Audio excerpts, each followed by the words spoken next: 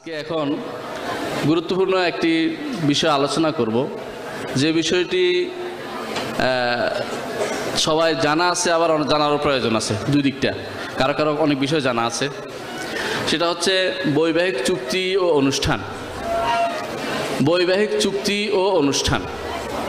দুইটা জিনিস আলোচনা করব। প্রথম হচ্ছে বৈবাহিক চুক্তি।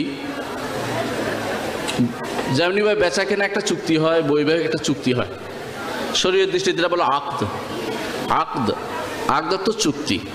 তো চুক্তি হওয়ার ক্ষেত্রে চুক্তির যেমন দুইটা সাইড থাকে, কিছু শব্দ থাকে, সেই হিসাবে বিয়ের ক্ষেত্রেও তেমনি কিছু মৌলিক কিছু রোকন বলা হয় এটাকে।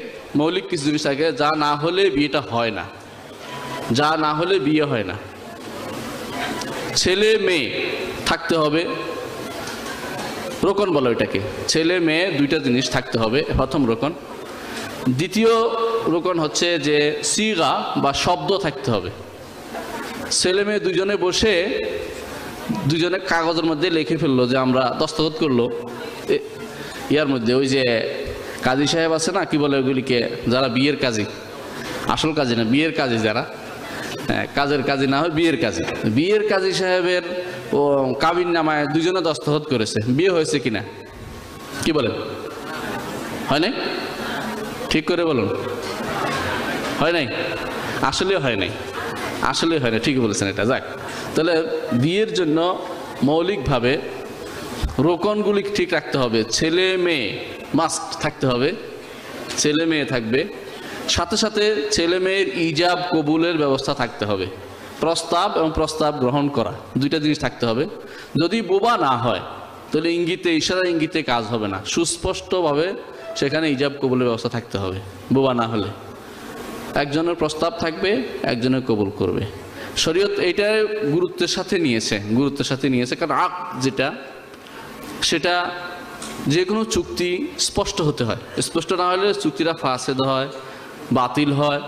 চুক্তি যদি এমন শর্তের সাথে হয়, যে শর্ত চুক্তি গ্রহণ করতে পারে না সব- সেই চুক্তিও গ্রহণযোগ্য হয় না। সেটাও গ্রহণযোগ্য চুক্তি বলে বিবেচিত হয় না। তো আমরা প্রথমেই আলোচনা করব যে রোকনগুলির মধ্যে প্রথম হচ্ছে ইজাব কবুল। একজন প্রস্তাব দিবে, আরেকজন গ্রহণ করবে। এটা ছেলের পক্ষ থেকেও প্রস্তাব আসতে পারে, মেয়েদের পক্ষ থেকেও প্রস্তাব আসতে পারে। ছেলের পক্ষ থেকে প্রস্তাব পাঠান, কারোর মাধ্যমে পাঠাইলে মেয়ে যদি কবুল বলে বা মেয়ে চুপ থাকলে আমরা একটু আগে আলোচনায় শুনেছি ডক্টর মঞ্জুর এলাহির যে চুপ থাকলেও মেয়েদের জন্য সেটা কোনো কোনো মেয়ের জন্য, সব মেয়ে না, যে মেয়ের আগে বিয়ে হয়নি, সে মেয়ের জন্য সেটা গ্রহণযোগ্য। আর যদি যদি যার বিয়ে হয়েছে, তার জন্য স্পষ্ট বলতে হবে, বিয়ে গ্রহণ মানে সে কবুল করেছে কি সেটা স্পষ্ট বলতে হবে। এখানে চুপ থাকা আর মুখে বলা এটা ইজাব এবং কবুল যে প্রথম বিয়ের ব্যাপারটা প্রস্তাব নিয়ে সেটাকে বলে ইজাব। আর যে কবুল কবুল তো আমরা এখন বাংলা বুঝি, আলহামদুলিল্লাহ। সেই হিসাবে বাংলা ভাষা বা আরবি ভাষাতে এটাকে বলা হয় জিওয়াজ, নেকা, এই শব্দগুলি ব্যবহার করা হয়। বাংলা ভাষায় এর প্রতিশব্দ যেটাই ব্যবহার করবেন, প্রত্যেক এলাকাতে যেটা ব্যবহৃত হবে সেটা ব্যবহার করলেই বিয়ে সংশোধিত হবে। কারণ একটি কায়দা ফিকিয়া আছে, Islamic, maxim maxim of Islamic law, সেখানে বলা হয় আল মারুফ ওরফান কাল মাসরুত সরতান আল মারুফ ওরফান মানে প্রচলিত নিয়ম যেটা যদি শরীয়ত বিরোধী না হয়, সেটা গ্রহণযোগ্য বলে বিবেচিত হবে। কোনো এলাকায় বিয়ে বলে, কোনো বেলায় শাদি বলে, কোথাও যদি আরও খারাপ কিছু শব্দ ব্যবহার করা হয় হ্যাঁ এটা আপনারা জানেন, সেগুলিও নিষিদ্ধ যদি এটাকে বিয়ে বোঝানো যায় এবং গ্রহণ করার মাত্রা সেভাবে থাকতে হয়, যেভাবে যেভাবে আলোচনা হয় সেভাবে। প্রশ্ন হতে পারে যে কি কি মাধ্যমে প্রস্তাব দিতে পারে, সরাসরি দিতে হবে না মাধ্যমে? একটু আগে আলোচনা এসেছে যে উকিলের মাধ্যমে প্রস্তাব আসতে পারে। উকিলের মাধ্যমে মেয়ের মত নিয়ে এসে বাবা বলে, ছেলেকে, আমার মেয়েকে বিয়ে দিলাম, তুমি গ্রহণ করতে পারো। সহজভাবে মেয়ে, ছেলে বলে, আমি কবুল করলাম। এটা একটা সুন্দর নিয়ম। এর বাইরে বর্তমানে যদি কেউ টেলিকনফারেন্স করে, এর মাধ্যমে বিয়ে হতে পারে। অথবা ভিডিও কনফারেন্সের মাধ্যমে বিয়ে হতে পারে। কিন্তু টেলিফোনের মাধ্যমে কি বিয়ে হবে? টেলিফোনের মধ্যে বিয়ে যদি হতেই হয়, কিছু শর্ত লাগবে। শর্ত হচ্ছে শিওর হতে হবে যে এখানে কোনো কোনো রকমের দুই নম্বরই করা হচ্ছে না। দুই নম্বরে কি? একজনের স্বর পরিবর্তন করার সুযোগ আছে। টেলিফোনে মেয়ে বুঝে না ছেলে স্বরকে, এই এদের সাথে দেখা হয়নি কোনোদিন জীবনে, এই শব্দ সে শুনেও নেই। আরেকজন বলল বিয়ে হয়েছে। এরকম বিয়ে হওয়ার পরে দেশে আসার পরে অনেকের মৃত্যুও হয়েছে, আপনারা শুনেছেন। টেলিফোনে বিয়ে হয়েছে, দেশে আসার পরে শুনে নাই। দেখে যে আসলেই তার আগের স্বামী আছে, শুধু টাকার জন্য বিয়ে করেছে টেলিফোনে। এরকম অনেক কিছু হয়েছে।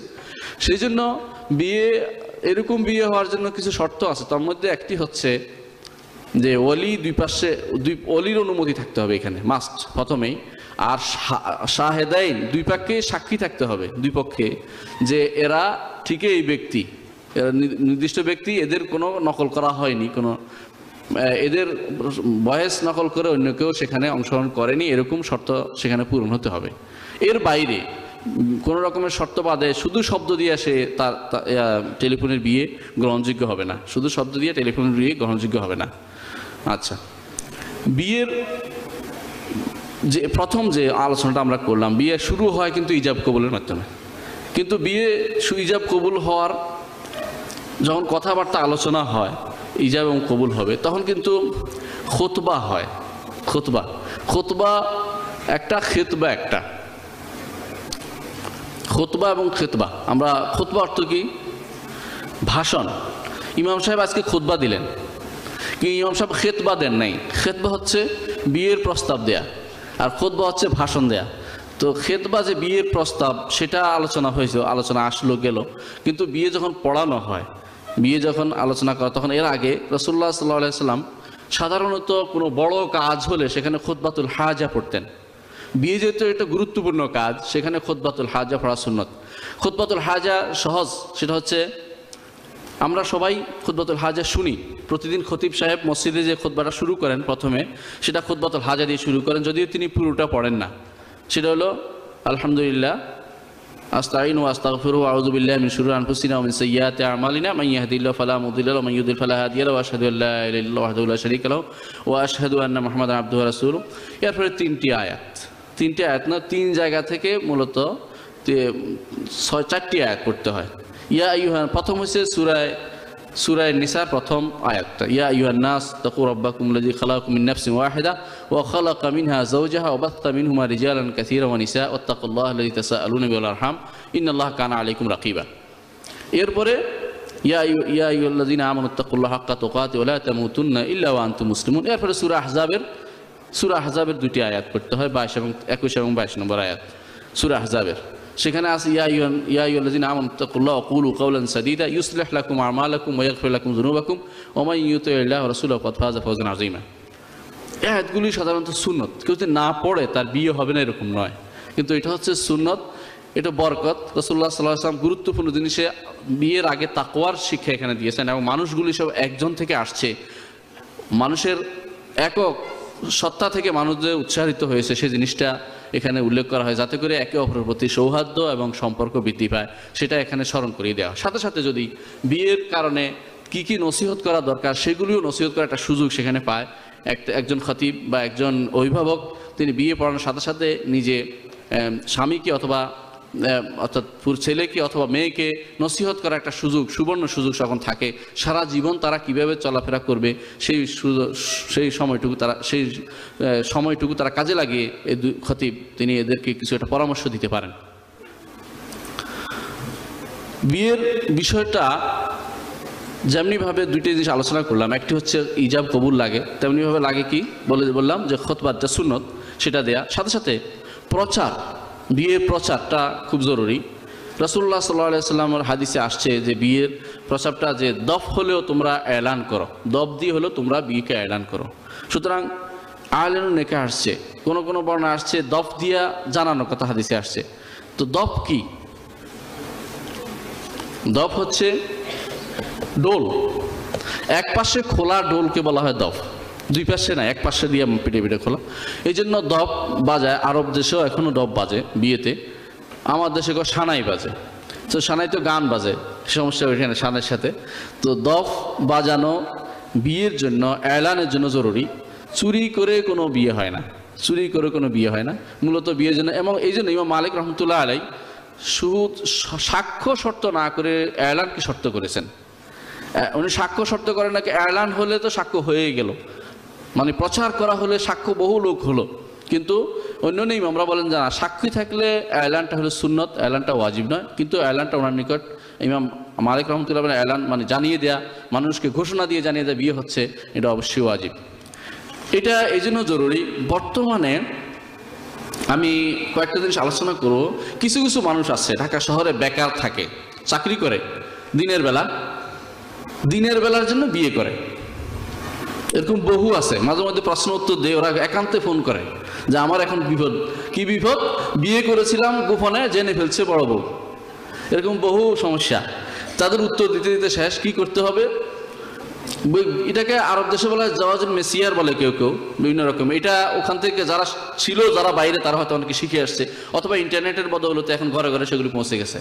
এর মাধ্যমে কিছু মানুষ দিনের বেলার জন্য বিয়ে, রাতের বেলার জন্য বিয়ে, চুরি করে বিয়ে, দুইজনে একসাথে বসে বিয়ে, ছাত্ররা কলেজ ইউনিভার্সিটিতে দুইজন সাক্ষী নিয়ে দুজনে বিয়ে করে এক ধরনের হালাল করার চিন্তা ভাবনা তাদের মাথার ভিতরে আছে। হালাল কিন্তু হালাল করা সম্ভব হচ্ছে না, কারণ শরীয়ত মোতাবেক হয় নাই। চেষ্টা করেছি আর কিছু। ঠিক না?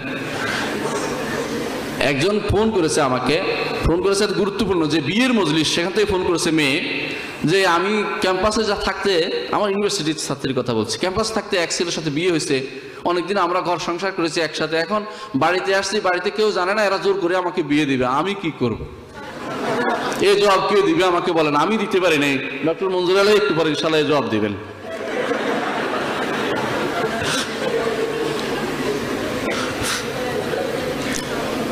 এই জাতীয় বিয়েগুলির সমস্যা হচ্ছে এলান না থাকা। এটা ঠিক নয়। বিয়ের এই জন্য ঘোষণা থাকা উচিত। বিয়েতে এই জন্য রসুল্লাহ সাল্লাহ ইসলাম যখন আয়সা রাদি আল্লাহ আসলেন, তিনি বললেন, তুমি কি ওই বাড়িতে বিয়েতে গিয়েছিলে? বলে, গিয়েছিলাম। বলে, কি করেছ? বলে, যে কিছু করো নাই তোমরা, না কিছু করি নাই। কেন বললে, না আতেই না কুম আতেই না কুম বা হাইয়াও না হাইয়াও কুম কোনো গান গাও নাই তোমরা? তো মেয়েদের ছোট ছোট গানও ইসলাম অনুমোদন করেছে বিয়েতে। কেন? এর মাধ্যমে বোঝা যায় যে এটা আনন্দর একটা জায়গা। মেয়েদের মধ্যে গান, গীতি, এগুলি শরীয়তে নিষিদ্ধ নয় বিয়ের ব্যাপারে। বিয়ের ব্যাপারে এই ইসলাম এই ব্যাপারে ছাড় দিয়েছেন এবং বলেছেন রসুল্লাহ সাল্লাহ আসলাম যে হ্যাঁ, যেন জানে অন্যরা আমাদের দিনের মধ্যে ফসা আছে আমার দিন একেবারে মানে নিরামিষ নয় কিছু কিছু আমিষ আছে ঠিক না? ছেলে পুরুষ মহিলা মিলিত নয় মেয়েদের মধ্যে একান্তে নিজেদের গান যেগুলি হয় সেগুলি গাইতে পারো গীত গীত গাইতে পারে তারা। এলানের পরে যে জিনিসটা দরকার সেটা হচ্ছে বিয়ের মাহার নির্ধারণ ব্যাপারটি। মাহার আমরা কেউ মাহার মহারানা বলি, কেউ মোহর বলি, সবাই এক কথায় মাহার আরবি শব্দ হচ্ছে মাহার হ্যাঁ? মাহার কাকে বলে? সদাক বলে এটাকে, বিভিন্ন নাম আছে।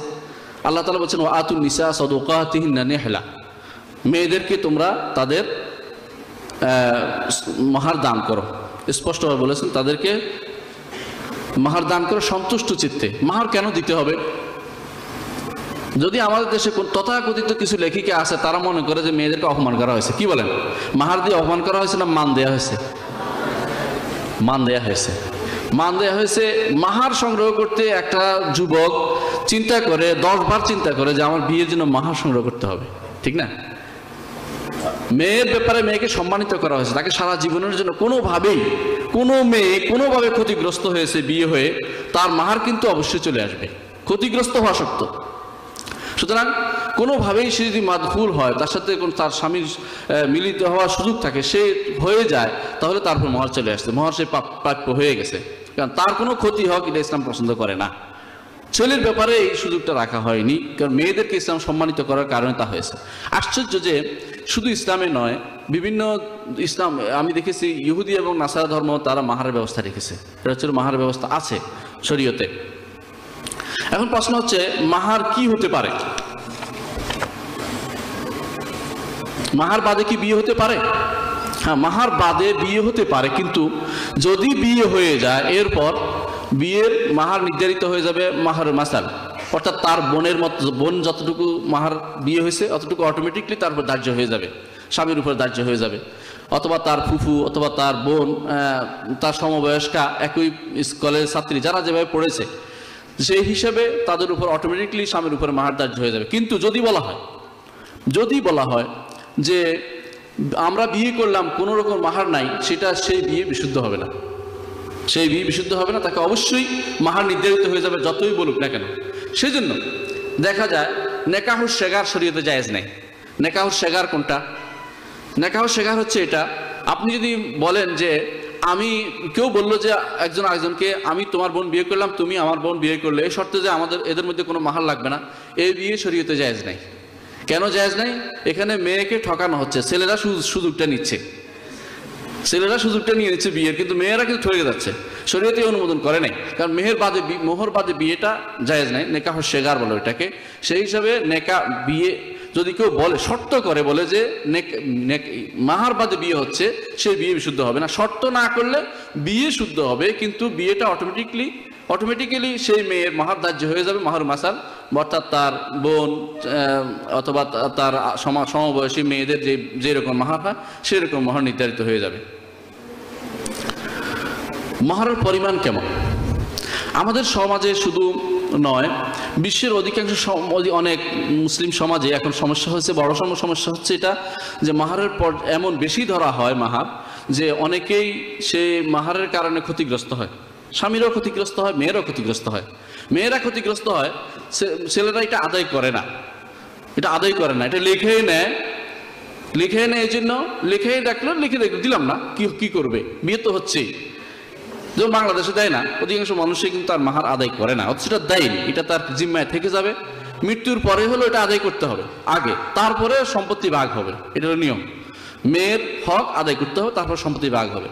আর মেয়েরা মনে করে যে দশ লাখ টাকা লেখায় নিতে পারলে জোরে আর কোনোদিন সে আমাকে তালাক দিবে না এত টাক দিবে থেকে এই জন্য বেঁচে গেছে, সে আর তালাক দিবে না আমাকে, আমি চিরজীবনের জন্য ওরা আটকাই দিলাম। অত বেশি হলে আর কোনোদিন বিয়ে করতে পারবে না, আমার দশ লাখ দিয়ে বিয়ে করেছে, কম কথা কি? এইটা দুই দিক থেকে খারাপ। রসল্লাহ সাল্লাম বলেছেন যে, ওই বিয়ে সবচেয়ে বরকতময়, যে বিয়েতে মৌনা সবচেয়ে কম, মাহার কম। মাহার কমের একটা সীমা আছে। একটা মানুষ লক্ষ লক্ষ টাকা ব্যয় করল বিয়ের অনুষ্ঠানে, অথচ মাহার নির্ধারণ করল এক টাকা। হাস্যকর। এটাও হয় না। যদি একটা প্রত্যেক, আল্লাহ বলছেন লিওন ফিক জু সাহাতি মিন সাহাতি প্রত্যেকে তার অবস্থা অনুসারে অবস্থা অনুসারে তার বিয়ের মাহার নির্ধারণ করবে। কেন সামর্থ্য আছে, তারপর বিয়ের মাহার দিবে না কেন? সামর্থ্য নাই একটা কর্মজীবী মানুষ, তার মাহার বেশি নির্ধারণ করা ঠিক নয়। কারণ তাকে ক্ষতিগ্রস্ত করাও সঠিক নয়, তাকে দেওয়ার ইচ্ছা থাকে। সে যদি কিনা পরিশোধ করার ইচ্ছা থাকে, এটা দায়ী। একটা ঋণ পরিশোধ করার ইচ্ছা থাকলে আল্লাহ তার তাকে সহযোগিতা করে, হাদিসে আসছে। এখন আমাদেরকে একটা, যদি কোনো একটা লেভেলে যেতে পারি তাহলে ভালো হয়।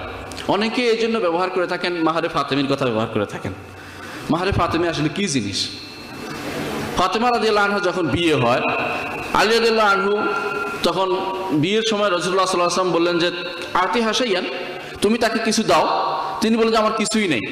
তখন রসুল্লাহ সাল্লাহ আসলাম বললেন, আইনা দেরা আকাল মিয়া ও হতামিয়া? তোমার হতামিয়া দেরাটা কই? দেরা তো বর্ম। এটা কই? একটা বর্ম। বদরের যুদ্ধে লাভ করেছিলেন তিনি গনিমত থেকে। সেটা কোথায়? সেটা তাকে দাও। বলে, সেটা দিয়ে কি করবে? মানে সেটা বিক্রি করলে যে টাকা হবে তো কাজে লাগবে, সেটা উদ্দেশ্য। তো তিনি সেটা বলেন যে, সেটা আমার কি হবে? লা ইউসাবি আর বাতে দাঁড়ায় কোনো বর্ণে আসছে, চার দেড়হামের বেশি কাজে লাগবে না। কিন্তু এখানে সহযোগিতা করেছে ওসমান রাজি আল্লাহ তিনি চারশো দেড়হাম, কোনো কোনো বর্ণায় চারশো আশি দেড়হাম দিয়ে তিনি সেটা ক্রয় করেছেন। কোনো কোনো বর্ণায় এই জন্য ইমাম ইবনে তাইমিয়া রহমতুল্লাহ আলাই বলেন, চারশো দেড়হাম থেকে চারশো আশি দেড়হাম পর্যন্ত চারশো দেড়হাম থেকে পাঁচশো দেড়হাম পর্যন্ত এটা হচ্ছে একটা স্বাভাবিক লেভেল যেখানে বিয়ের মাহার হতে পারে। দেড়হাম কি? এক দেড়হাম সমান তিন গ্রাম।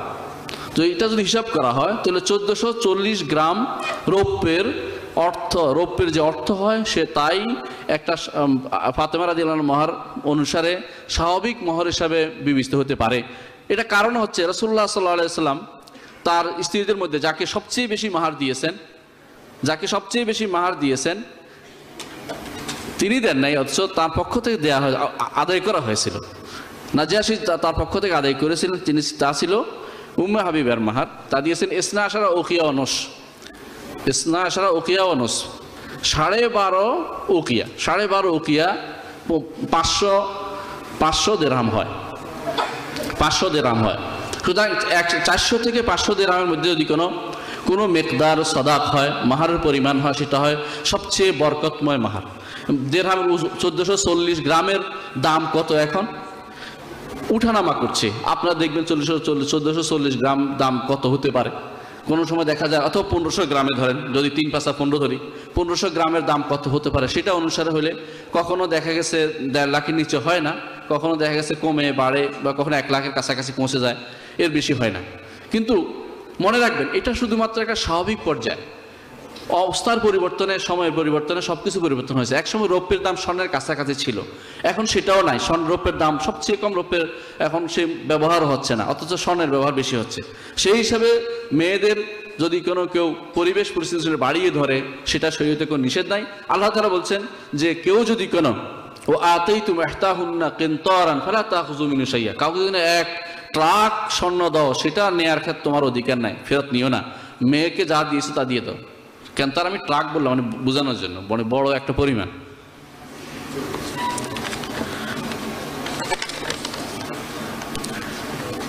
মহর কি কি হতে পারে? ইমা আবু রহমতুল্লাহ বলেন যে, মোহর হতে হবে, মাল মোতাকাওয়াম হতে হবে। অর্থাৎ যেই সম্পদের মূল্য আছে, এরকম সম্পদ হতে হবে। আমার দেশে সাধারণত স্বর্ণ, রৌপ্য এগুলি দেওয়া হয়। বিয়ের সময় যে যে ইয়াগুলো দেওয়া হয় অর্নামেন্টসগুলো দেওয়া হয়, সেগুলিকে মাহারের মাহার মাহারের মোয়াজ্জাল হিসাবে বা অগ্রিম প্রদত্ত মাহার হিসাবে গ্রহণ করা হয়। এটা বিশুদ্ধ জিনিস, এর কোনো সমস্যা নেই। কিন্তু এর বাইরে এর বাইরে অন্যান্য জিনিস, সেবা যেমন আছে, সেবা কি হতে পারে? অন্যান্য ইমামদের নিকট সেবাও হতে পারে, কোরআন শিক্ষা দেওয়া হতে পারে, হাদিস শিক্ষা দেওয়া হতে পারে, ফেকা শিক্ষা দেওয়া হতে পারে। শিক্ষাটাও একটা মাধ্যম হতে পারে বিয়ের। ইমাম আবু হানিফা রহমতুল্লাহ সেটা গ্রহণ করেননি, তবে এটা বিশুদ্ধ হাদিস মোতাবেক যেহেতু প্রমাণিত হয়েছে, সেটাও মূলত ইয়া হতে পারে, একটা মাহার হিসেবে বিবেচিত হতে পারে। যদি স্ত্রী সেটাতে সম্মতি জ্ঞাপন করে, মেয়ে সেটাতে সম্মতি জ্ঞাপন করে।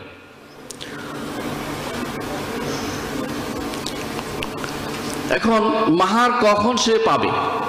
এই মেয়ে কখন মাহার পাবে? শরীয়তের দৃষ্টিতে মাহারের, মাহার যখনই সে, যখন স্বামী স্ত্রী মিলন হবে, তারপরেই পূর্ণ মাহারের অধিকারী হবে। এতে কোনো দ্বিমত নেই। স্বামী স্ত্রী মিলনের পরে পূর্ণ মাহারের অধিকারী হবে স্ত্রী। আর যদি মাহার নির্ধারিত হয়েছে, কিন্তু তাদের মধ্যে মিলন হয়নি, এরপর তালাক হয়ে গেছে স্বামীর কারণে স্বামীর কারণে তালাক, স্বামী তালাক দিয়ে দিয়েছে, অর্থাৎ স্বামীর কারণে তালাক হয়েছে, তাহলে সে অর্ধেক মাহার বিবেচিত, অর্ধেক মাহার পাবে। আর যদি স্বামীর কারণে নয়, স্ত্রীর কারণে তালাক হয়েছে, তাহলে সেখানে স্ত্রী কিছুই পাবে না। স্ত্রীর কারণে তালাক হয়েছে, সেটা স্ত্রী কিছু পাবে না। এটা স্বাভাবিক নিয়ম। আর যদি এরকম হয় যে স্বামীর, স্ত্রী, স্বামী স্ত্রীর মধ্যে বিয়ে হয়েছে, তালাক নির্ধারিত হয়নি, মাহার নির্ধারিত হয়নি, কিন্তু তাদের মধ্যে আবার মিলনও হয়নি। এমত অবস্থায় তালাক হয়ে গেলে কোনো মাহার পাবে না, সেখানে তারা পাবে উপহার পাবে। সে উপহারটা হবে এমন কাপড় যে কাপড়ে সে নামাজ আদায় করতে পারে। এই কাপড় সে, যে কাপড়ে সে নামাজ নামাজ আদায় করতে পারে, এরকম একটি পূর্ণাঙ্গ কাপড় সে পাবে। এটা হচ্ছে যদি মাহার নির্ধারিত না হয়, বিয়ে হয়, কিন্তু তাদের মধ্যে কোনো মিলন হয়নি। এই অবস্থায় শুধুমাত্র এই মাহার পাবে। মাহার আলোচনার পরে আমরা আরেক দিকে যাব। সেটা হচ্ছে পরবর্তী অনুষ্ঠান কি হয়? অনুষ্ঠান বলতে আমরা সাধারণত বুঝি। বিয়ের অনুষ্ঠান বলতে কিছু কি অনুষ্ঠান? অলিমা। অলিমা বুঝি। অলিমা। রসুল্লাহ সাল্লাহ সাল্লাম আব্দুর রহমান ইবনে আউফ রাজি আল্লাহকে বললেন, তিনি বললেন, তার হাতে, তার গায়ে কিছু রং দেখে ফেললেন তিনি। রং দেখার পর বললেন মাহিয়াম। মানে কি খবর? মাহিয়াম মানে কি খবর? তোমার কি হয়েছে? বলে যে, আমি বিয়ে করেছি আনসারি এক মেয়েকে। বলে যে, বিয়ে করেছ?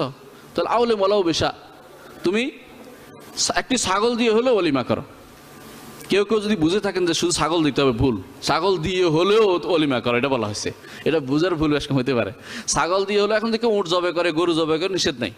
তো অলিমা দেওয়ার ক্ষেত্রে এই- সুন্নতটা আলহামদুলিল্লাহ জারি আছে, কিন্তু বাড়াবাড়িও হচ্ছে। বাড়াবাড়ি হচ্ছে যে অলিমা দেওয়ার ক্ষেত্রে যে ভাড়া করা হয়, বড় বড় হল রুমগুলো, এখানে সুন্নতের বিপরীত কাজ হচ্ছে। রসুল্লাহ সাল্লাম একটা সহি হাদিস তিনি বলেছেন সর্ব তরামে তরামুল ওলিমা সবচেয়ে খারাপ খাবার হচ্ছে ওলিমার খাবার। কেন? তিনি এরপর বলেছেন, এই জন্য কারণটা বলেছেন। তো যখন এটা হয়, তখন খারাপ হয়ে যায়। যে যে আসতে চায় না, তাকে খুব পিড়াফিড়ি করা হয়, আর যে আসে, তাকে ঢুকতে দেওয়া হয় না। বুঝছেন আপনি? আপনাকে দাওয়াত দিলে আপনি আসতে চান না, কারণ আপনার অনেক টাকা পয়সা আছে, আসলে খরচ হয়ে যাবে সেই। গরিব মানুষ আসতে চাচ্ছে, আপনি তাকে ঢুকতে দিবেন না। কেন? এই, তোর এখানে জায়গা কি? এখানে আসার জায়গা নাকি? আর শহরে হলে তো তার কথাই নেই। শহরে কোনোদিন গরিবের কোনো স্থান নেই। শুধু ধনীরাই আসে, নির্দি- সুনির্দিষ্ট ধনীরাই আসবে। অথচ তরামুল অলিমার খাবারের মূলত প্রথম অধিকারী হওয়া উচিত গরিবদের। তারা এর মাধ্যমে এক দোয়ার, দোয়াতে সামিল হবে, দোয়া করবে, তাদের অন্তর দোয়া করবে, তাদের জন্য এক উসিলে তারা খাওয়ার ব্যবস্থা করেছে, এটা। কিন্তু শুধু বড় লোকদের জন্য এখন অলিমাগুলি হয়ে গেছে। অনেকটা সেটা আমাদের চাওয়ার বাইরে হয়ে গেছে। আমরা এটা কখনো চাই না, তাই না? শহরের যে পরিবেশ, যান্ত্রিক পরিবেশে গরিবদের আনারও সুযোগ নেই গ্রাম থেকে, আর তারাও খেতে পারবে না। এর বাইরে আর কি অনুষ্ঠান হতে পারে? অনুষ্ঠানের পরে কিছু জিনিস আছে।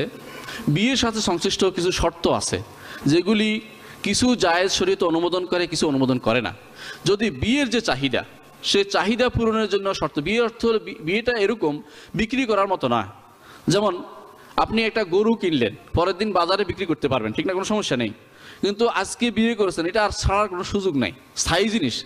যেই জিনিসটা স্থায়িত্ব বোঝায় না, এরকম কোনো শর্ত হলে সে বিয়ে শুদ্ধ নয়। স্থায়িত্ব দেয় না, এরকম কোনো শর্ত থাকলে সে বিয়ে শুদ্ধ নয়। কিন্তু স্থায়িত্ব পেতে পারে, ইচ্ছা করলে, এরকম শর্ত করতে পারে। যেমন কেউ যদি বিয়ে করে যে আমি বিয়ে করে, বিয়ে বিয়ে বসছি, কোনো মেয়ে দিয়ে শর্ত দেয় যে আমাকে হারামাইন থেকে বের করা যাবে না, এই শর্ত দেয়া তার পক্ষে জায়েজ এবং বৈধ এবং সেটা করতে পারে, বলতে পারে, কোনো সমস্যা নেই। যদি এটাও বলে যে আমি বিদেশ যাব না, এই শর্তে বিয়ে করছি, তাহলে মেয়ের, এই শর্ত যদি মেনে নিয়ে স্বামী বিয়ে করে, স্বামীকে শর্ত অবশ্যই পূরণ করতে হবে। এই শর্ত অবশ্যই পূরণ করতে হবে। যদি এই শর্ত বিয়ে করে যে আমি কাজ করতে পারব না, বিয়ে করে বসে যে আমি কাজ করতে পারব না তোমার, শর্ত আগেই করেছে, খেয়াল করেন, পরে করলে হবে না। হ্যাঁ আগেই করেছে যে আমি কাজ করব না, যদি স্বামী এই শর্ত মেনে নিয়ে বিয়ে করে, স্বামীর ঘর করার কাজ করার জন্য সে বাধ্য নয়। এই শর্তগুলি অনুমোদিত, শরীয়তে একে বাধা দেয় না। কিন্তু কিছু জিনিস আছে শরীয়তে বাধা দেয়। যদি বলে বিয়ে করেছি, তুমি আমার কাছে আসতে পারবে না, এই শর্ত শরীয়ত অনুমোদন করে না। যদি বলে যে বিয়ে করেছি, তবে হ্যাঁ বিয়ে করেছি তবে কিছু দিনের জন্য। এটাকে বলা হয় নেকা মোয়াক্কাত। আমি এক সপ্তাহের জন্য বিয়ে করেছি, এটা শরীয়ত অনুমোদন করে না। এক সপ্তাহের জন্য বিয়ে শরীয়ত অনুমোদন করে না বা এক মাসের জন্য অনুমোদন করে না। অথবা বিয়ে করেছি নেকা এটা বলে মোতা। একটা কিছু দিলাম হ্যাঁ এক হাজার টাকার পরিমাণ সময়ের জন্য আমি তোমাকে বিয়ে করেছি। এটা মোয়াক্কাত, মোতা একসাথ হয়ে গেছে, সেটাও শরীয়ত অনুমোদন করে না। রসুল্লাহ সাল্লাহ ইসলামের প্রথম রসুল্লাহ সাল্লাহ প্রাথমিক যুগে ইসলামের প্রাথমিক যুগে তিনি সেটাকে অনুমোদন করেছেন, পরবর্তীতে সেটা খাইবারের যুদ্ধে মতান্তরে মজুদ, খাইবারের যুদ্ধে মতান্তরে বিদায়, হজ মক্কা বিজয়ের দিন তিনি সেটাকে হারাম করেছেন এবং কেয়ামত পর্যন্ত এই বিয়ে হারাম। এই বিয়ে হারামের পিছনে একটি কারণ হচ্ছে, একে কেউ কারও দায়িত্ব নেয় না। এটা এক ধরনের বেবিচারের মতো। কেউ কারও দায়িত্ব নেয় না। শরীয়ত একসময় যেটা করেছিল, তখন সেখানে মানুষের খুব সমস্যা ছিল, সমস্যাগ্রস্ত অবস্থা ছিল। সেখানে সমস্যাটা উত্তোলনের জন্য সেটা করেছে। বর্তমানে আলহামদুলিল্লাহ এই সমস্যাগুলি নাই এবং সে সে উঠানোর কোনো সুযোগ নেই সেটাকে। সুতরাং এই জিনিসগুলি নেকায় মোয়াক্কাত বা সাময়িক বিয়ে বা নেকায় মেসিয়ার বা দিনের দিনের বিয়ে, রাতের বিয়ে নয় বা তার কাউকে বলা যাবে না, একান্তে দুইজনের বিয়ে অথবা নেকা কিছু সামগ্রীর দেয়ার বিনিময়ে বিয়ে নেকা মোতাজ যেটাকে বলে। এই জাতীয় জিনিসগুলি শরীয়তে অনুমোদনযোগ্য নয়, এগুলো শরীয়ত কখনো গ্রহণ করে না। সুতরাং আমরা দেখতে পাচ্ছি, মোট কথা এটা কি জন্য করেছে যে মূলত শরীয়ত চায় বিয়ে স্থায়ী হবে, সন্তান সন্ততি হবে, সন্তান সন্ততি বড় হবে, তার দায়িত্ব থাকবে, ছেলের উপর যেমন দায়িত্ব থাকবে, মেয়ের উপর দায়িত্ব থাকবে, এরকম নয় যে ছেলে মেয়ে উভয়ে একজন একজন মেয়ে ছেলে চলে গেল। যেমন আমাদের দেশে অনেক সময় দেখা যায় রিক্সা চালকরা বিয়ে করে কিন্তু অনেকগুলো বিয়ে করে তারা, কিন্তু মেয়েটা ফেলে চলে যায়, মেয়ে এরপরে ভিক্ষা করে তিন চারজন নিয়ে, দেখেন না? অবশ্যই দেখা যাচ্ছে দেখা যায় খুব। এইগুলি শরীয়ত অনুমোদন করে না, কিন্তু আমরা তো তাদের কাছে যেতে পারি না, তাদের হুকুমটা দিতেও পারি না, জানাইতেও পারি না। আর তারাও আমাদের হুকুম শুনতে চায় না। তাদের নিজস্ব বিবেক আছে এটা অনুসারে তারা চলে।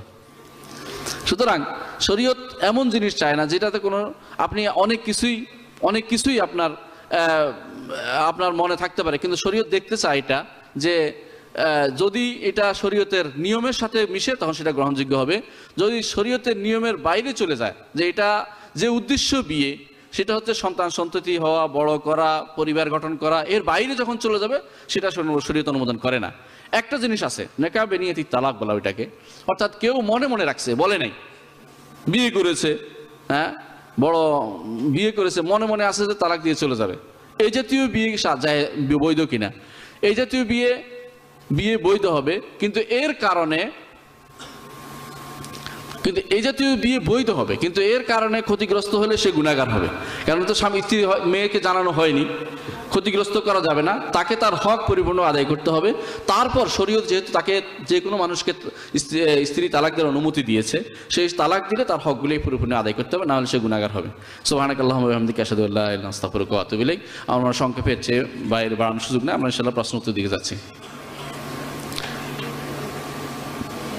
প্রশ্ন হচ্ছে স্ত্রী কি চাইলে দেনমোহর ক্ষমা করতে পারবেন অথবা পরে দেয়া যাবে? হ্যাঁ মাহার দুই রকমের হয়। একটা মাহার দেনমোহর যেটা বলছেন, সেটা মাহার ইচ্ছা করলে স্ত্রী অগ্রিম সবটাই চাইতে পারে এবং বলতে পারে, ততক্ষণ দান মাহার আমাকে পুরোপূর্ণ পরিশোধ করা না হবে।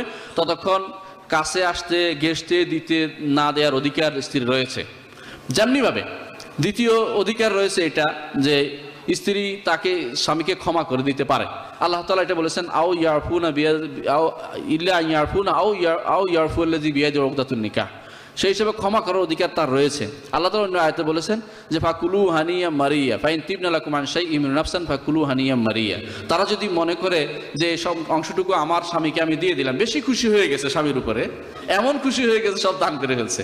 সেটাও সে দিতে পারে। কিন্তু পরবর্তীতে আফসুস করে, স্বামী তখন দ্বিতীয় বিয়ে করছে, কেন মাফ করে দিলাম? সুতরাং খুব বেশি খুশি না হয়ে সাবধানে মেয়েদের যেমন আগানো উচিত আর ছেলেদেরও উচিত। ঠকবাজি করে সালাকি করে, মরে গেলাম আমাকে কেমনে দিব এসে করে কান্নাকাটি করে উঠছে। মাপ মাপ নেয়ার মেয়েদের থেকে যে প্রবণতা আছে, সেটা একটা হারাম প্রবণতা, নাজায়েজ প্রবণতা, এটা ঠিক নয়। বরং তার ব্যক্তিত্ব নিয়ে বড় হওয়া উচিত যে মাহার যতটুকু ধরেছে, অতটুকু দেওয়ার চিন্তা ভাবনা আছে। তুমি যত, এখন যা পেয়েছ পেয়েছ, পরেরটা বাকি দেওয়া বাকিতে আমি বাকিটা দিয়ে দেবো। পরেও সেটা দিতে পারবে, কোনো সমস্যা নেই। তবে শর্ত হচ্ছে, যদি না দিতে পারে সেটা কিন্তু জিম্মায় রয়ে গেল। সে স্বামীর তারেকা থেকে, তারেকা অর্থ ছেড়ে যাওয়া সম্পদ থেকে আগে ভাগ বন্টনের আগে, সম্পদ ভাগ বন্টনের আগে তার সম্পদটা সে বুঝে নিতে পারবে। এতে শরীয়তে কোনো বাধা নেই। এটা নিতে হবে তাকে, জি। অনেক বন্ধুর মাহার হিসেবে গহনা দেখা হয়। এইসব গহনা তাদের বিক্রি করার বা কাউকে উপহার দেওয়ার অধিকারে শ্বশুরবাড়ি দেয় না। এক্ষেত্রে এই বন্ধুদের করণিক তাদের কি এর উপর জাকাত দিতে হবে? সুন্দর প্রশ্ন। এই গহনা অবশ্যই অবশ্যই মেয়ের নিজস্ব সম্পদ। যদি বিক্রি করতে চায়, তার বিক্রি করার ক্ষমতা আছে, সে এবং জাকাত দিতে হলে যদি জাকাত মতো হয়, জাকাতের মতো হয়, অর্থাৎ সাড়ে সাত বড়ির উপরে হয় এবং সেটা নিত্য ব্যবহার্য না হয়, আমি যেটা ফতোয়া এটা আমি বলছি, অন্যদের থেকে অন্য মাসলা শুনে নেবেন, নিত্য ব্যবহার্য না হয়, নিত্য ব্যবহার্য হলে জাকাত নেই, আর নিত্য ব্যবহার্য না হলে কিছু মাঝে ব্যবহার করে রেখে দেয় সম্পদের আশায়, সেই জন জিনিস হলে তাকে সেটা নিজের সম্পত্তি থেকে জাকাত দিতে হবে, যদি না দিতে পারে, কেউ যদি আদায় করে দেয়, আদায় হবে। স্বামী যদি তাকে সহযোগিতা করে, সেটা হবে। কিন্তু জাকাত ওয়াজিব হবে মূলত মেয়ের উপরেই কারণ সম্পদ তার সম্পদ তার নিজের। যেহেতু সম্পদ তার নিজের, পরিপূর্ণভাবে এটা মাহার তার অংশ। কোনো কেউ বাধা দিলে সে বাধা গ্রহণযোগ্য হবে না। সে বাধা গ্রহণযোগ্য হবে না। যদি বাধা দিয়ে নিয়ে যায়, তাহলে স্বামীর কাছ থেকে সে পুরো পুরো অঙ্ক দাবি করতে পারে। যে অঙ্ক, যে এই অঙ্ক আমার মাহার ছিল, সে পুরো অঙ্ক আমি আবার দাবি করছি। যেহেতু এটা আমার থেকে তুমি নিয়ে গেছো, জোর করে। আর যদি স্বামী ফুসলে, নিয়ে যায়, জমি জমিন কিনে, এই জমিন তার নামে কিনতে হবে। তার সম্পদ বিক্রি করে তার নামে কিনতে হবে। যেটা জায়েজ আছে, তাকে কিনে দিলে। আর যদি নিজের জন্য কিনে নিয়ে যায়, তাহলে স্বামী সম্পূর্ণ গুণাগার হবে, তাকে অবশ্যই এই মাহার পরিশোধ করতে হবে পরিপূর্ণভাবে। বিয়ে উপলক্ষে মেয়েরা যে গান গাইবে, তাতে কি বাদ্যযন্ত্র ব্যবহার করা যাবে? আমি আগে বলেছি, সেই বাদ্যযন্ত্র যে আমাদের দেশে এখন কত রকমের বাদ্যযন্ত্র ব্যবহার হচ্ছে। দব বাজাতে পারবে। আমি মদিনায় দেখেছি দব বাজে। ডুব করে বাজায় আস্তে আস্তে এবং মেয়েরা গানও গায় ভিতরে ভিতরে। তাদের মধ্যে, মেয়েদের মধ্যে সেটা শরীয়তে নিষিদ্ধ নাই। সব রকমের বাদ্যযন্ত্র ব্যবহার করতে পারবে না, শুধু দব ব্যবহার করতে পারবে। যেটা আদিসে আসছে, ওইটাই বলব। বিয়ের অলিমা কি কমিউনিটি সেন্টারে করা যাবে? অনুষ্ঠানে মেয়েকে কি কেউ দেখতে পারবে? এই এক সমস্যা। কমিউনিটি সেন্টারে করা যাবে, বিয়ের অনুষ্ঠান করা যাবে, কোনো সন্দেহ নেই। তবে সেখানে গরিবদেরকে যেন হেলাফেলা করা না হয়, তাদেরকে যেন গুরুত্বের সাথে নেওয়া হয়। ফকির মানুষদেরকে, তাদেরকে ভিন্নভাবে হলেও তাদের খেতে দেওয়া হয়, এটা খেয়াল রাখা দরকার। আর মেয়েকে নিয়ে বসায় রাখা হয় এরকম ইয়াতে, কি? হ্যাঁ? স্টেজে, ছেলে মেয়েকে বসায় রাখা হয় সবাই আসে আসে ওদের গায়ের মধ্যে কি মারে? ফুল ছিটিয়ে দেয়। এটা কোন জায়েজের ভিতরে পড়ে? এটা হারাম সম্পূর্ণ। এটা শরীয়ত অনুমোদন করে না। এই জাতীয় কুশা বা বলা হয় কুশাতুল আরুস, এখানে মেয়েদের, মেয়েরা মেয়েদের কারে আসতে পারবে, ছেলেরা ছেলেদের ওখানে যায় তো দুইজনে বসে থাকতে পারবে, কোনো সমস্যা নেই। কিন্তু দুইজন একসাথে বসাইয়া অবাধভাবে যেভাবে আসা যাওয়া করে, এটা শরীয়ত অনুমোদন করে না। এটা সম্পূর্ণ হারাম সম্পূর্ণ হারাম পদ্ধতি। এঙ্গেজমেন্ট ছেলের গায়ে হলুদ হ্যাঁ চমৎকার কথা। গায়ে হলুদের মাসালা। মেয়ের গায়ে হলুদ, মেহেদি, রাত বৌবাদ ইত্যাদি এরকম কয়টি অনুষ্ঠান দরকার? একটি বিয়ে সম্পন্ন হওয়ার জন্য। একটি বিয়ে সম্পন্ন হওয়ার জন্য একটি অনুষ্ঠানও দরকার নেই এগুলি। শুধু একটা অনুষ্ঠান দরকার, অলিমা। বিয়ের পরে অলিমা। অলিমা কার উপরে? শুধু ছেলের উপরে, মেয়ের উপরে নয়।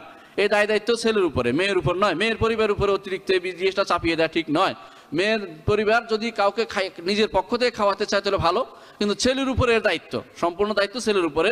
কিন্তু মনে রাখবেন, আমাদের দেশে প্রচলিত হলুদ আমি কিঙ্কর সিং এর একটা বই পড়েছি হলো ভারতের বিয়ে, হিন্দুর। সে বলেছে, আমাদের সৌভাগ্য যে আমাদের কিছু অনুষ্ঠান মুসলিমরা গ্রহণ করেছে। এর মধ্যে একটি হচ্ছে হলুদ বিয়ে গায়ে হলুদ। গায়ে হলুদে কি করে ওরা? স্বামীর পা- বাড়ির বাড়ির থেকে গায়ে হলুদ পাঠানো হয় মেয়ের বাড়িতে, মেয়ের পক্ষ থেকে স্বামীর বাড়িতে। এবং এরা মেয়েরা যায় গিয়ে গায়ে লাগানো বা সেল লাগানো, দুইটা অনুষ্ঠানে শরীয়তে হারাম, অবৈধ। এবং এই এই সাক্ষাৎ, দেখা সাক্ষাৎ কোনোটাই জায়েজ নয় বা এই অনুষ্ঠান করাটাও জায়েজ নয়। মূলত গায়ে হলুদের কোনো অনুষ্ঠান করা শরীয়ত অনুমোদন করে না। সম্পূর্ণ বেদাত এবং গুণা আর যদি অনুকরণ করা ওদের, তাহলে কুফুরি হওয়ার সম্ভাবনা আছে। রসুল্লাহ সাল্লাম বলেছেন, মান তাসাব্বাহা বে কৌমিন ফাহুয়া মিনহুম। কেউ যদি আমার অন্য কোনো জাতির সাথে আমাদের সামঞ্জস্য বিধান করতে চায়, সে ওই জাতির মধ্যে গণ্য হবে, আমাদের জাতি থেকে সে বের হয়ে যাবে। আমাদের দেশে বিয়ের অনুষ্ঠানে মহিলা পুরুষের অবাধ মেলামেশা হয়। দেখে হিন্দি গান ছেড়ে গান হয়। শরীয়ত আমাদের কি বলে? দুইটা জায়েজ নাই, আপনি বুঝতে পারছেন, আলহামদুলিল্লাহ, হিন্দি গান গাওয়ার যেমন জায়েজ নাই, শরীয়তে বিয়েতে এভাবে অবাধ মেলামেশা শরীর বিয়েতে না, যে কোনো জায়গায় জায়েজ না সমান হুকুম। মেয়ের মোহর আদায়ের আগে নাকি মেয়ের কাছে যাওয়া যায় না? পূর্ণ মোহর আদায়ের আগে সে কি হালাল হবে না? না যদি মেয়ের বাধা দেওয়ার ক্ষমতা আছে, বাধা দেওয়ার ক্ষমতা আছে মেয়ের, কিন্তু যাওয়া যায় এবং কোনো বাধা মেয়ে অনুমতি দিলে সেখানে কোনো না নাজায়জ হবে না কিছুই। জি। বিয়ের বাড়ি লাইটিং করার হুকুম কি? লাইটিং করা জায়েজ, কোনো সমস্যা নেই। বরং এটা এলানের ভিতরে পড়বে। এই বাড়িতে বিয়ে হচ্ছে, এটা একটা এলানের ভিতরে পড়বে এবং এটা শরীর বিধানের ভিতরে পড়বে। তুমি ইসরাফ যেন না করো, এটা খেয়াল রাখা দরকার। আমি দশটা লাইট দিলে চলবে, আমি পঁচিশটা লাইট দিলাম। এটা বাড়াবাড়ি যেন না হয়তো লাইটিং করা জায়েজ, এমনকি গেট দেওয়া জায়েজ। এবং সেখানে কেউ হাসাহাসি, হাসি, কৌতুক করা, প্রশ্ন করা, উত্তর দেওয়া এগুলি শরীয়তে অনুমোদন করা, এগুলো নিষিদ্ধ করে নিষিদ্ধ কিছু নেই এগুলির ভিতরে। মাহারের সাথে একটি নির্দিষ্ট পরিমাণ গোল্ড দেয়া, মন ম্যান্ডেটরি ধরে নেওয়ার হুকুম কি? আসলে দেখুন ম্যান্ডেটরি হিসেবে দেওয়া হচ্ছে না। মূলত দেওয়া হচ্ছে কেন? অন্য যে সম্পদে দেন, সেটাই বিক্রি হয়ে যায়। গোল্ডটা মেয়েরা একেবারে মানে কক্ষের দন বলে মনে হয়, নাকি যক্ষের দন? যক্ষের দন মনে করে সেটাকে আঁকড়ে ধরে রাখে, কাউকে দিতে চায় না। এই জন্য এটা দেওয়া হয়, এবং এটা ভালো মনে করি আমি। আমি দেখেছি, অন্য যেটাই দিবেন সেটাই নষ্ট হয় বা এটা ওদিক সেদিক শেষ হয়ে যায়। জমিন হলেও একসময় কাদে, আর মরে যাচ্ছি, বিক্রি করে খাই। কিন্তু এটা কেউ দিতে চায় না, এবং নিতেও যদি স্বামী যদি কোনো খারাপ না হয়, একেবারে নিম্ন চরিত্রের না হয়, বা নিকৃষ্ট কোনো স্বামী না হয়, সে এইটার দিকে হাত বাড়ায় না। আপনাদের প্রতি কঠিন হয়ে গেল না? সরি জোর করে মহা আদায় করলে এবং তার ফর কি? তালাক হলে। তালাক হলে দেন মোহর দেওয়া কি? ইসলামে কোনো সুনির্দিষ্ট কোনো ব্যাখ্যা আছে কি? থাকলে সমাধান কি হতে পারে? জোর করে মহার আদায় করলে এবং তারপর বুঝতে পারেনি অনেক কিছুই, কেউ বুঝাতে পারলে সমস্যা হতো তাহলে বুঝতে পারেনি। তবে জোর করে তালাক মোহর আদায় করলে মাহার জোর করে আদায় করার মেয়ে যদি ইচ্ছা করে আদায় করলাম, এরপর তালাক হয়ে গেলে তো তো মাহার তার সম্পদ। সমস্যা কি? তালাক হয়ে গেলে তো সম্ভবত আগে নিয়ে নিয়েছে। তো এখন আর সমস্যা নাই তার কাছে, এটা বুঝি। বর্তমানে যে পদ্ধতিতে গায়ে হলুদ আছে সেটা কি বৈধ? না, সেটা অবৈধ না এটা অবৈধ। গায়ে হলুদ অনুষ্ঠানটাই শরীয়ত অনুমোদন করে না। প্রশ্ন হলো, কোন ব্যক্তি কি জাকাতের অর্থ বিয়ের উদ্দেশ্যে গ্রহণ করতে পারবে? কোনো ব্যক্তি? হ্যাঁ জাকাতের উদ্দেশ্য জাকাতের অর্থ বিয়ের উদ্দেশ্যে গ্রহণ করতে পারবে পারবে। তো ওই ব্যক্তি যে ব্যক্তির আর কোনো কিছু নাই, ফকির। ফকির দিয়া, ফকির যদি কোনো বিয়ে, বিয়ের জাকাতের অর্থ গ্রহণ করে ফিসাবিল্লার খাত থেকে, এবং সে যদি বিয়ে করে, সেটা যদি স্ত্রীকে না বলেন, তো ছোট হয়ে যাবে, ঠিক না? তাহলে এই বিয়ে করতে পারবে, আমার মনে হয় এটাতে কোনো নিষেধাজ্ঞা নেই। জি। বিয়ের খোদবা কে দিবে? ছেলে নিজে বা অন্য কেউ? না, বিয়ের খোদবা অন্য কেউ দিবে, যারা ঘটকালি করবে তারা দিবে। নিয়ম, যদি না, একটু আগে আলোচনা, যদি না পারে, নিজেও দিতে পারবে, কোনো সমস্যা নেই। মার নির্ধারণ আমাদের সমাজে একটা জিনিস কেনা বেচার মতো ব্যবস্থায় পরিণত হয়েছে। অনেক সময় বিয়ের মজলিস উত্তপ্ত হয়ে ওঠে তখন দুপক্ষ মার নির্ধারণ অনেক সময় মহার অনুমতি অথবা সায়ের উপর সিদ্ধান্ত নেয়। এই অবস্থায় হুকুমটা কি? দেখুন, এমন এক জিনিস মাহার, সেখানে একটু টানাহেসা হবেই। এটা সব ফেরিস্তা চরিত্রের মানুষও বসে নাই। আর এটা টানাহেসা হওয়াটা ভালো লক্ষণ। যদি বলা হয় যে হ্যাঁ দশ লাখ দশ লাখ রাজি হয়ে গেলাম, মনে মনে আছে দিব না, এটা আর খারাপ। যদি তর্ক হয় যে, দুই লাখ তিন লাখ আস্তে আস্তে উঠল, তাহলে বোঝা সাথে দেওয়ার নিয়ত আছে। নাহলে তো তর্ক উঠতেছে কেন? এটা একটা ভালো জিনিস। আমি জানি বাড়াবাড়ি করার কিছু নেই। এটা হবেই। সব কিছুতে আপনি মনে করছেন যে কোনো কথা না বলে নির্দ্বিধায় বিয়ে হয়ে যাবে, নির্দ্বিধায় সব কিছু হবে, এটা না। এই সামান্য থাকলে কোনো সমস্যা হয় না। এটাকে কেনা বেচার পণ্য হিসেবে না নিয়ে, এটাকে সম্মানের পণ্য হিসেবে নেন। যে আমার মেয়ের সম্মান আছে বলেই দাম উঠতেছে, সমস্যা কি? আর ছেলে মনে করতে পারে যে আমার দেওয়ার ক্ষমতা কতটুকু আছে, তারা হয়তো পরীক্ষা করতেছে। দেখি আমি কত দিতে পারি। তা তো ভালো। এটা নিয়ে আর মনে হয় তেমন কিছু নেই। এই কেনা বেচার সাথে সম্পৃক্ত করা, এটা অনেকের কাজ। আমি দেখেছি, একজন লিখেছে, তথাকথিত লেখিকা, এটা লিখেছে বিয়ে শাদির এই যে মাহার ব্যাপারটা, এটা গরু বেচা কেনার সাথে তুলনা করেছে। এগুলি আমরা না বলি। শরীয়তের হুকুমের সাথে আমরা সম্পৃক্ত থাকি। অনেক সময় ছেলেপক্ষ আমাদের সমাজে বিয়েতে মেয়েকে সাজানোর জন্য যে অলংকার দেওয়া হয় তা মাহারের অংশ উসুল বলে অনেক সময় ঘোষণা দেওয়া এটা কি জায়েজ? অবশ্যই জায়েজ। সামনে এমনি কেউ দেয় নাকি? এটা অবশ্যই মাহারের অংশ হিসেবে দেয়। আপনি এত খুশি হয়ে উপহার দিছে আপনাকে মনে করতেছেন? বিয়ে বাদে কেউ কে আর উপহারটা দেয়? আমাদের দেশের বিয়ে অনুষ্ঠানে দেখা যায়, উকিল নিয়োগ দিয়ে তার মাধ্যমে বিয়ে দেওয়া হয় আর তার কতগুলো শরীর সম্মত? উকিল নিয়ে উকিল নিয়ে জায়েজ আছে, কোনো সমস্যা নেই। শরীয়তে সব জায়গাতে ওকালতের সিস্টেম আছে, এখানেও জায়েজ আছে। তবে উকিল হতে হবে উকিল সরাই, শরীয়ত অনুমোদিত উকিল। মেয়ের কাছে কে যেতে পারে? বাবা, ভাই, বড় ভাই, বা ফুফুয়া, ফুফা, খালু, এরা যেতে পারে। ওরা যাই ইয়া নিয়ে আসে নিয়ে আসে, তার অনুমতি নিয়ে আসে, খোঁজখবর নিয়ে আসে, আরও মানুষ সমস্যা নাই। যেখানে মাহারাম থাকলে আর কি, স্থায়ী মাহারাম সরি স্থায়ী মাহারাম যে তাদের অনুমতি নিয়ে নিতে পারে, কোনো সমস্যা নেই। উকিল হিসেবে তারা বিয়ের মতামত নিয়ে আসতে পারে মেয়ের, এতে কোনো বাধা নেই। মেয়ে পক্ষ থেকে জোর করে যৌতুক নিলে নাকি বিয়ে শুদ্ধ হয় না, একটু জানাবেন। বিয়ে শুদ্ধ হবে, টাকাটা ফেরত দিতে হবে। যৌতুক কেন দেয়? আমি যৌতুক দেওয়ার একটা বিরাট কারণ পেয়েছি। সেটা হচ্ছে, শরীয়তের দৃষ্টিতে যে অধিকার পিতারা লঙ্ঘন করেন, পিতারা আল্লাহর কাছে দায়ী হবেন। একজন পিতা নয়, শত শত পিতা সমাজে মেয়েদেরকে কোনো কিছুই দেয় না। সব সম্পত্তি আমি প্রশ্ন উত্তরের মধ্যে বুঝি ইয়াতে ইসলামিক টিভিতে। দেখি যে সব প্রশ্নই আসে এরকম। আমার পিতা আমাদের কিছুই দেয় নাই, সব ছেলেদের লিখে দিয়েছেন, তিনি হজে গেছেন। তার হজ হবে কিনা? আমার তার হজ হবে, তার হজ হবে না এটা আমি বলব না, তবে সে আখরাতের জন্য জাহান্নাম ক্রয় করে নিয়েছে। কারণ হলো এই সম্পদ মেয়ের অধিকার বেশি। মেয়েরা সন্তান পিতা মাতাকে সবচেয়ে বেশি দেখে। আমি নিজে পরীক্ষিত, আমি নিজে দেখতে পারি না আমার আব্বা আম্মাকে। আমার বোনেরা বাড়ি জামার বাড়ি থেকে এসে দেখে দেখে যায়, সব সমস্যা দেখে। আমি তো এক মাসে একবার যেতে পারি না। ওরা মাঝে মধ্যে আসে, খোঁজ পাইলে কি হয়েছে, না হয়েছে। মেয়েরা পিতা মাতাকে সবচেয়ে বেশি দেখে। অথচ আমাদের সমাজের ভাইরা এক খারাপ, জোর করে সিগনেচার নেয়। আর বাবারা আরেক খারাপ, তারা পিতাকে, সন্তানদেরকে দিয়ে দেয়। এই জন্য যে সন্তানরা আমার দেখছে, মেয়েরা দেখে নাই। আরে মেয়েরা দেখার সুযোগ কোথায়? দেখার জন্য তো তোমার সম্পদ নয়। তোমার সম্পদ হচ্ছে শরীয়ত মোতাবেক তুমি খায়ে চলে যাবা। শরীয়ত মোতাবেক আল্লাহ তালা বন্টন করার ব্যবস্থা করেছেন। আল্লাহ যেভাবে বন্টন করে সেভাবে মেয়েরা পাবে, ছেলেরা পাবে। এটা নিয়ে বাড়াবাড়ি করার কারণে আগে থেকেই ছেলেরা মনে করে মৃত্যুর পর তার কিছু পাবো না, আগে থেকে নিয়ে নেই। এই জন্য শুরু হয়ে গেছে ইয়ার ইয়ার ব্যবস্থা কি যৌতুকের অবস্থা। সুতরাং এই যৌতুক থেকে বাঁচতে হলে শরীয়তের গণ্ডিতে আমরা যদি ফিরে আসি, শরীয়ত অনুসারে চলি, দেখবেন যে যৌতুক কথা উঠে গেছে এবং কেউ এটাতে চাচ্ছে না। আরব দেশে এখনও যৌতুক নাই নাই তো। পাকবার আমাদের এখানে যৌতুক এত বেশি আসলো কেন? আমরা আল্লাহ শরীয়ত মেনে চলি না বলেই। আল্লাহ শরীয়ত মেনে চলি, দেখবেন ইনশাল্লাহ যৌতুক কথা উঠে যাবে। মানুষ চিন্তা করবে যে অনেকে তো বিয়ের কারণ, আমাদের ডক্টর বলেছেন একটু আগেই, বিয়ের কয়েক কারণে হয়, এর মধ্যে একটি আসলে জামালিহা, ওলে ইহা ওলে বলে হাসাবিহা। চার কারণে, একটি কারণে হচ্ছে সম্পদের কারণে মানুষ বিয়ে করে। আল্লাহ রসুল সাল্লাহ ইসলাম বিয়ে করেছেন খাদিজা রাজি আল্লাহ আনহাকে। তার সম্পদ ছিল বলেই। নিয়ে তো অসম্ভব কিছু নেই, সুন্দরী ছিল সম্পদ ছিল, বিয়ে করেছেন। নাজাইজের কিছু নেই, সম্পদ দেখে বিয়ে করতেই পারে। কিন্তু এই যদি কোনো সম্পদের অবস্থাতে সম্পদ থাকে, বাবার কাছে বাবা যদি সবটা মেরে দেয়, তো আগে নিয়ে নিতে চিন্তা করে মানুষ। সুতরাং এই জন্য সম্পদের সঠিক সুষম বন্টন, শরীয়ত মোতাবেক বন্টন যদি হয়, নিয়ম শৃঙ্খলা মেনে চলা হয়, তাহলে আমার দেশে যে বর্তমান যে কঠিন অবস্থা যাচ্ছে বা যৌতুকের যে ছড়াছড়ি যাচ্ছে, সেটা অবশ্যই উঠে যাবে এবং মানুষ সঠিকভাবে চলতে শিখবে ইনশাআল্লাহ। সুবহানাকাল্লাহু ওয়া বিহামদিকা, আশহাদু আল্লা ইলাহা ইল্লা আনতা, আস্তাগফিরুকা ওয়া আতুবু ইলাইক। আসসালামু আলাইকুম রাহমাতুল্লাহি ওয়া বারাকাতুহু।